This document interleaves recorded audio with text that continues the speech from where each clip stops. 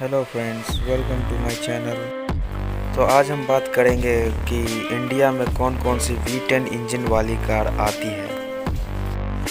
Engine का मतलब है वैसी गाड़ियाँ जिसमें 10 सिलेंडर हो और उसे वी शेप में अरेंज्ड किया गया हो। अभी प्रेजेंट साल 2021 में सिर्फ़ दो ही गाड़ियाँ ऐसी आ रही है जिसमें वी टेन इंजन लगा हुआ है।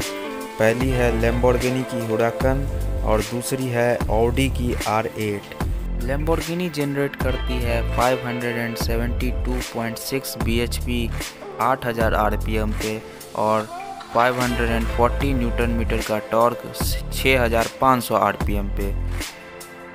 Audi generates 602 brake horsepower at 8200 RPM और ये टॉर्क जनरेट करती है 560 न्यूटन मीटर का 6500 आरपीएम पे।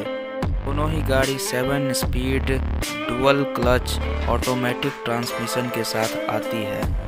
लैम्बोर्गिनी की प्राइस है 4.72 करोड़ ऑन रोड और ऑडी की प्राइस है 2.72 करोड़ ऑन रोड दोनों में ही V10 इंजन आता है।